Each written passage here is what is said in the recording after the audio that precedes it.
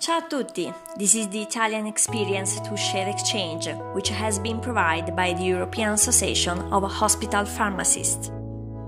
COVID 19, the respiratory disease caused by the virus, has killed more than 33,000 people so far.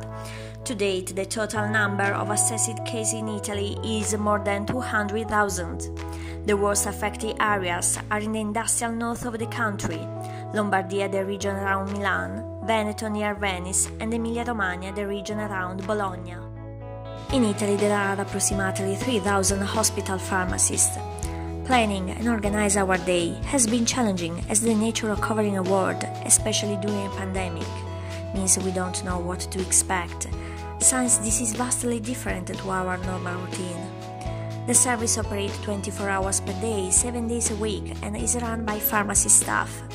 In the meantime, we are on call at the hospital as it focuses on urgent supply of an anticipatory medicine.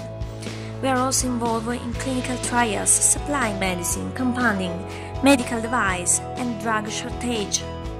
About drug shortage in particular, there are limited supplies of all strength of the neuromuscular blocking agents, atracurium and cisatracurium, that are listed as first-line drugs in the management of COVID-19 patients. Owing to a recent increase of demand, with trust us to switch to using rocuronium when supplies begin to deplete. About compounding, we made hand surface sanitizers for hospital. Also, we made a solution and other preparation of chloroquine and hydroxychloroquines. Personal protective equipment protect workers against health and safety risk within the rule.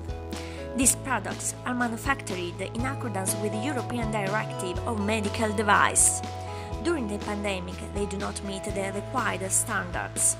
In addition, there is a lack of a proper mask, gloves, and eye gear, which are imperiling the ability of medical workers to fight the coronavirus and putting our lives at significant risk. In the fight against the epidemic, the pharmaceutical department have established effective drug supply and pharmaceutical care practice in addition, during this emergency, it is very important to create a team that supports other people in order to supply medicine to their home.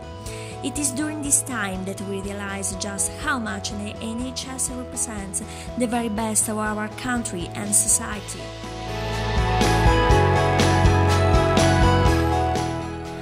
During COVID 19, the pharmacist plays a fundamental role in the way clinical trials are conducted and contribute in different forms in the research process.